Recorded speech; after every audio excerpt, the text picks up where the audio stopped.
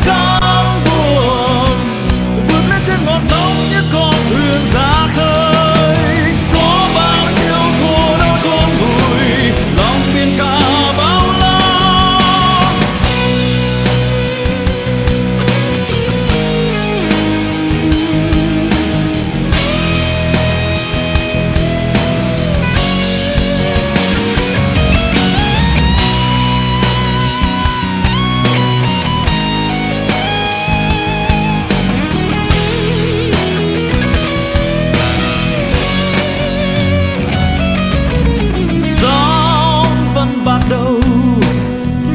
câu ca vẫn ẩn sâu.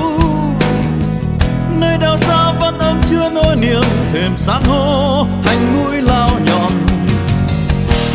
Vòng tròn kết hoa, lời thề thiêng liêng giữa muôn trùng. Thề giữ lấy biển trời quê hương